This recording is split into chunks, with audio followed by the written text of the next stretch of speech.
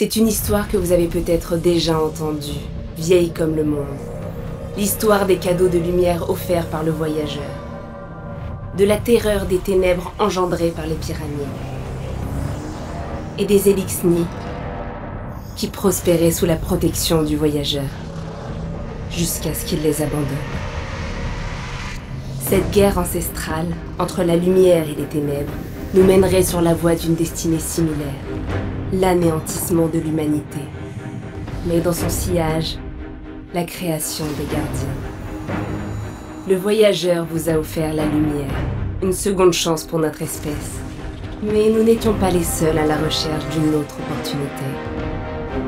Les déchus Elixni vinrent pour s'emparer de notre cadeau. Mais vous l'avez défendu. Vous avez gagné en puissance.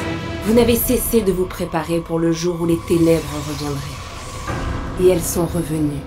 Mais cette fois-ci avec un sombre cadeau offert à Vigris, survivante de la chute des Elixni. Et désormais championne des ténèbres contre notre voyageur. Aucun d'entre nous n'échappera au cycle infini de guerre entre la lumière et les ténèbres. À moins de découvrir la vérité au-delà des contes. Et de nous approprier ce sombre pouvoir. Notre existence en dépend.